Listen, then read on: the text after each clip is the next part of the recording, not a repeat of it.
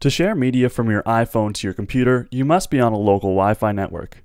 To start sharing, tap the sharing button in the file manager. Here you have some authentication options.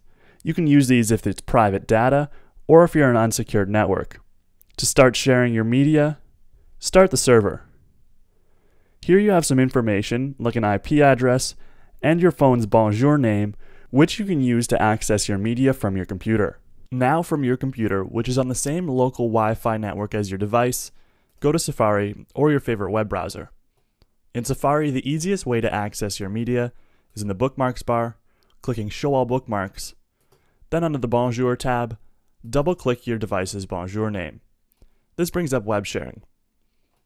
You can also access web sharing by, in the address bar, putting in your device's IP address as listed in the sharing information on your device.